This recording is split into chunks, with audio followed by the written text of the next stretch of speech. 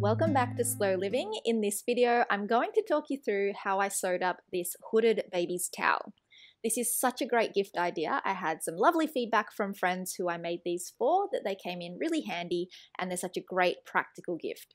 This is a super simple, beginner friendly project, so I highly recommend it if you're very new to sewing. And you can even customize your project with patches or embroidery or hand stitched details. So, the general size for baby towels seems to be about 1 meter by 1 meter or 32 inches.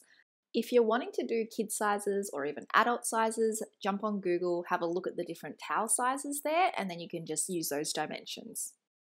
And for this hood, since I'm making it for a baby, it has to be quite small, so the short edges are about 12 inches. I'm using 100% cotton terry toweling, which I highly recommend, although do be careful because a lot of terry toweling out there at the moment is a blend and there will be like maybe a synthetic fiber in there, such as polyester, mixed with cotton. But depending on your budget and what's available to you, you might have to compromise.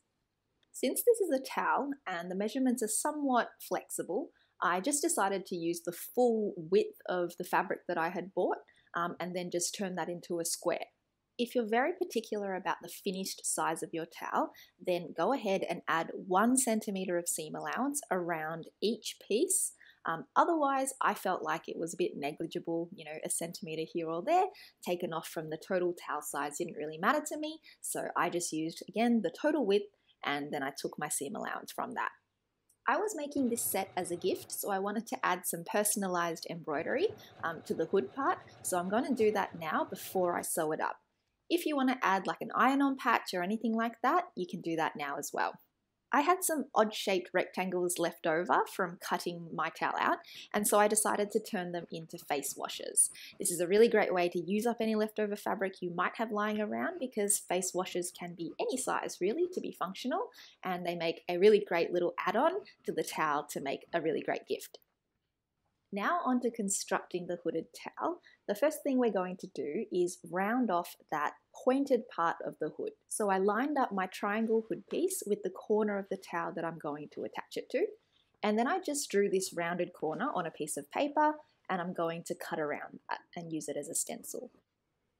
Now trim off a tiny bit from the corners of the hood piece, so the two lower corners, just because we're going to hem that and flip it up so that they don't get in the way.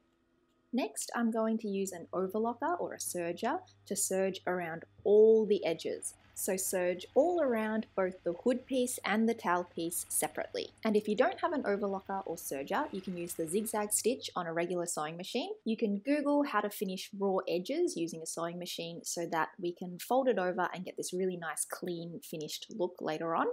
You can also bind all of the edges if you prefer that finished look, um, but binding is not very beginner friendly, which is why I haven't recommended it in this tutorial. Next, we're going to hem the long side of the hood. So the side that goes across the forehead, we're just going to fold up that edge one centimeter and use a straight stitch to sew straight across. It should look nice and neat like this, and now it's ready for us to attach to the rest of the towel. Pop the right sides of the fabric together and then line up the edges nice and neatly. You can add some pins and we're just going to sew all the way around that corner. When you're done, you can flip it out the right way and it should be nice and neat. The hood part is all done and we can finish the rest of the towel now. You should already be able to see this one centimeter of seam allowance peeking out from where we attached the hood at the edge, and so it should make it nice and easy to turn over the rest of the seam allowance all the way around the edge of the towel and just simply sew that down. Try to keep it nice and neat, so if you need to, measure one centimeter and pin that as you go around um, because you will be able to see this seam allowance on the finished product. So just keep it really nice and neat and it won't be noticeable. And that's pretty much it for the hooded towel. It's all finished now. Um, and I basically use the same technique to do the little face washes. So serging or overlocking all the way around the outside and then just folding that down one centimeter to finish off the edges. You can add embroidery or applique or any sort of hand-stitched details after you've finished the towel if you prefer. Um, I just found it might make it a little bit trickier to get into the hood piece and stuff like that. But you could just as easily attach it after the towel is finished. As I mentioned, I made these as gifts and I got some really great feedback because they're such a practical gift and sometimes people don't think of towels when they think of baby gifts. So I hope that this tutorial came in handy for you. And if you had any other beginner projects or tutorials that you had in mind that I could help with, feel free to leave a comment below and I'll do my best. Thanks for watching and I'll see you in another video soon.